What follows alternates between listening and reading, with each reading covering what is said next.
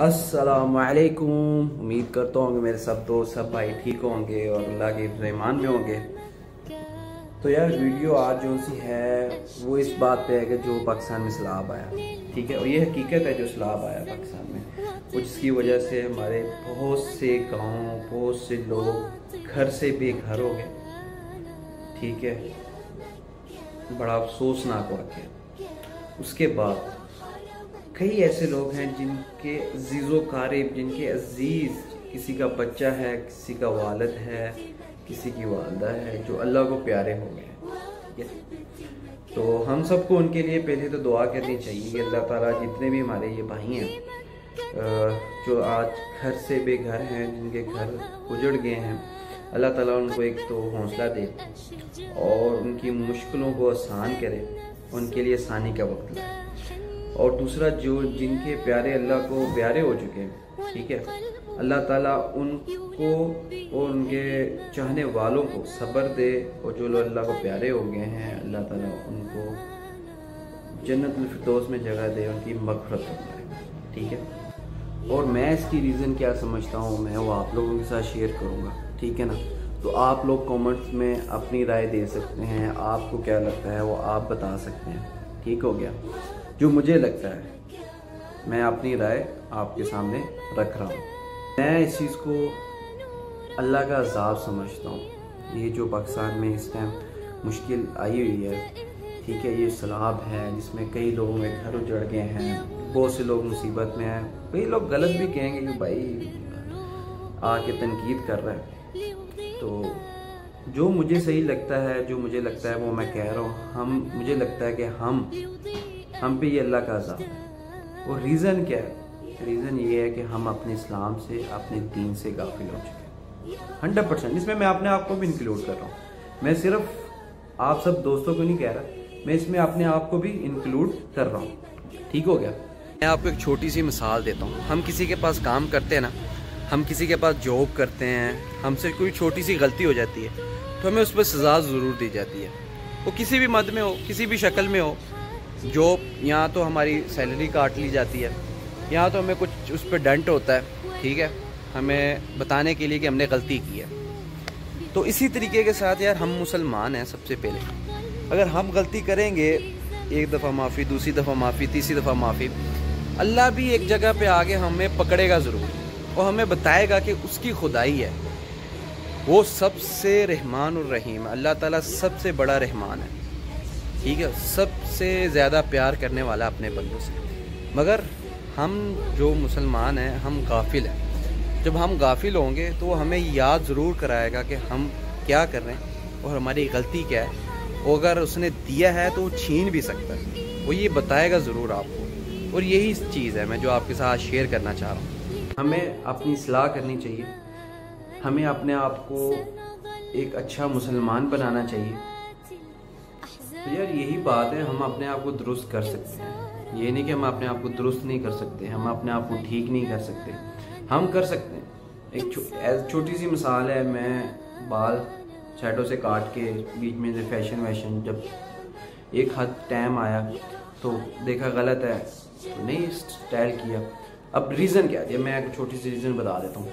मैं, हम, मैं खुद भी इस चीज़ को मानता था कि यार इंसान मर जाता है तो कुछ भी साथ नहीं लेके जाता। उसके अमाल साथ में जाते हैं। एक प्रैक्टिकल था इस ज़िंदगी का। उससे पहले मैं भी टिकटॉक पे, गानों पे वीडियोस नाच गाना सोचते थे माइंड में, जना तो नहीं कभी, जना की तरफ़ तो नहीं गए, मगर माइंड में फिर भी सोचते सहेली ज़रूर होनी चाहिए। मैं जिस दिन मैंने अपने वालद साहब को गुसल दिया था ना अपने वाला साहब को गुसल दिया तो उस दिन एहसास हुआ कि यार, हम कुछ भी नहीं है। हम कुछ भी नहीं मेरे वाला साहब को मैं गुसल दे रहा था तो एक तो आँखों से आँसू बह रहे थे और दिमाग में एक चीज़ चल रही थी कि यार, ये इंसान है।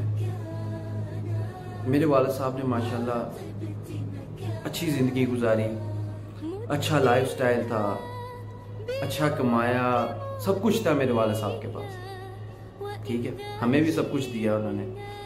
मगर जब अल्लाह को प्यारे हुए हैं तो उनके हाथ में कुछ भी नहीं था। ना उनके पास उनका पैसा था, ना उनके पास इतनी ताकत थी कि वो अपनी इज़्ज़त को ढक सकें। अगर कोई बंदा उनकी इज़्ज़त उतारना चाहे ना, हम, हमारे हमारे कोई कपड़ा उतारना चाहे तो हम ताकत लगा देंगे कि हमारी कोई इज़्ज़त को ख़राब ना करे। तो जब हम मर जाते हैं तो हमारे बस में कुछ भी नहीं होता। उस दिन मैं जब गुसल दे रहा था ना, ये चीज़ें एहसास अंदर जा रहा था। उस दिन मैंने, उस दिन सोचा कि अपने आप को इंशाल्लाह दुरुस्त करूँगा और दुरुस्त कर रहा हूँ। इसलाह अपनी, दिन ब दिन अपनी इसलाह कर रहा हूँ और अपने सब भाइयों को भी कहूँगा कि अपनी भी इसलाह करो, अपने आप को देखो। अब यार देखो, हम हम पर यह अजाब आने की वजह क्या है? सबसे बड़ी वजह यार हमारे पाकिस्तान में जितने भी, हमारे पाकिस्तानी हैं, हम लोग मुसलमान हैं आजकल जो से, हम अपने इस्लाम से बहुत गाफिल हो गए हैं, बहुत दूर हो गए हैं। हम नमाज़ की तरफ़ हम नहीं जाते। झूठ हम में आम हो गया है, ठीक है? हम कोई चीज़ बेचते हैं तो झूठ बोल के बेचते हैं। उसके बाद हम गरीबों का हक मारने में हिचकिचाते ही नहीं हैं। ज़क़़त हम नहीं देते।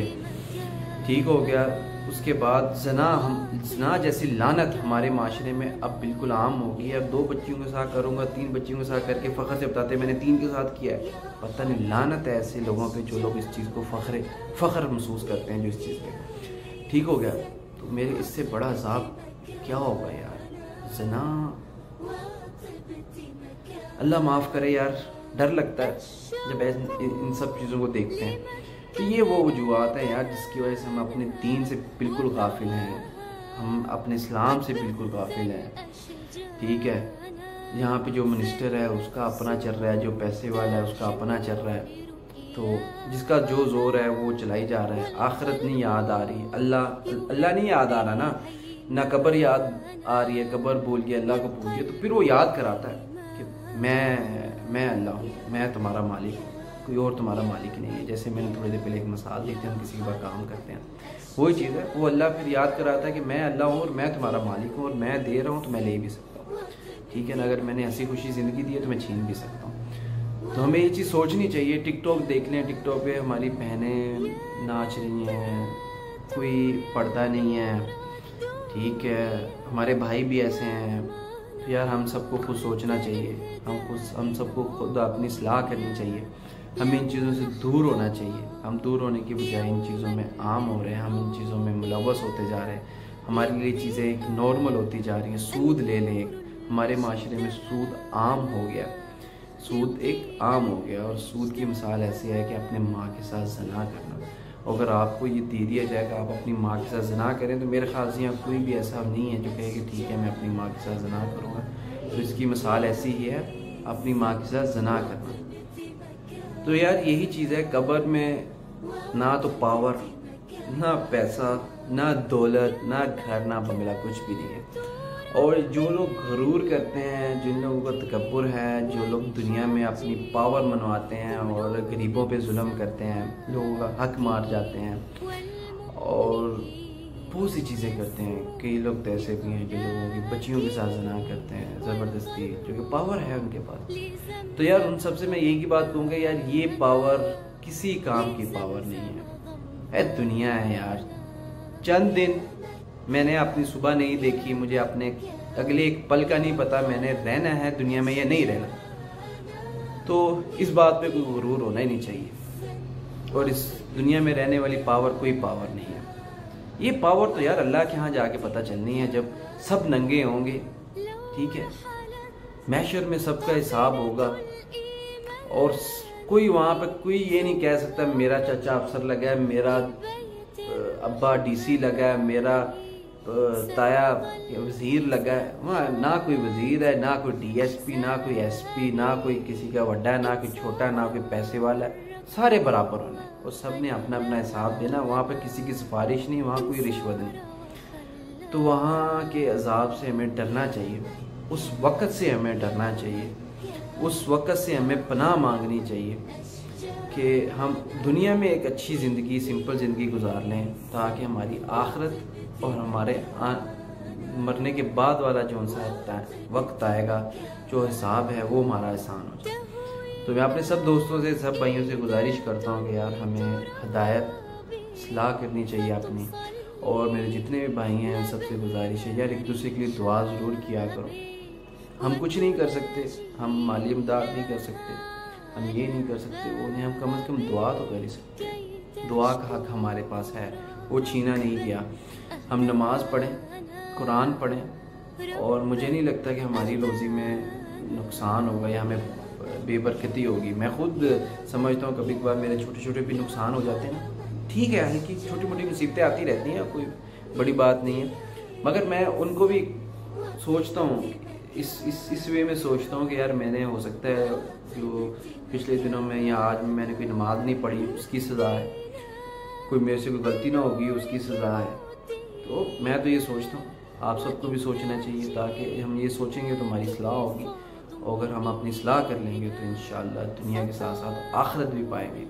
तो सब दोस्तों से, सब भाइयों से गुजारिश है कि यार अपनी सलाह करो और अपने दीन की तरफ़ वापस आ जाओ।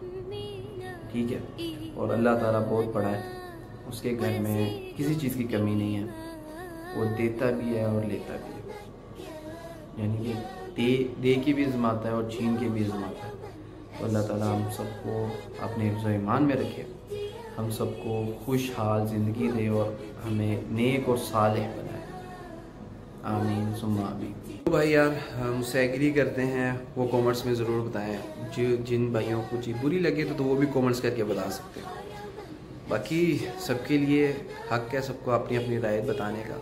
मैंने अपनी राय थी वो मैंने आपके साथ शेयर कर लिया आपको क्या लगता है? आप शेयर कर सकते हैं मेरे साथ। कॉमर्स में नीचे बता सकते हो। तो इन नेक्स्ट वीडियो में मुलाकात होगी। तब तक के लिए अल्लाह हाफिज़। खुश रहें, एक दूसरे दुआ में याद रखें। Bye bye